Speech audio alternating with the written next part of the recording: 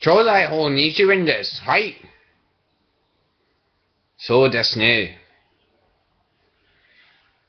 わかりますか何を放るんが今日。Now, let's think about this for a second. Men should be allowed to piss in public. I'll tell you why. Because every time I pee in the toilet, the cats look at me like, what the fuck are you doing wasting all that pee? You could be out here in the fields pissing on everything so the raccoons and bears stay away because it smells like cat pee. And you over here pissing in the toilet like goddamn girl. Bumba clap. Fuck that.